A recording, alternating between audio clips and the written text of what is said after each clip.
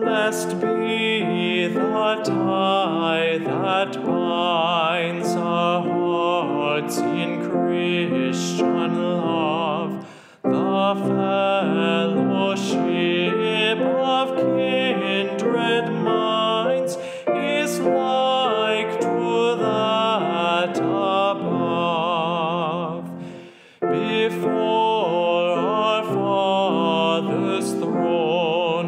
we pour our prayers, our fears, our hopes, our aims, one, our comforts and our cares.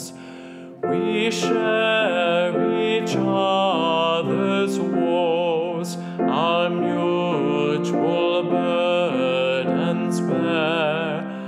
and often for each other flows the sympathizing tear.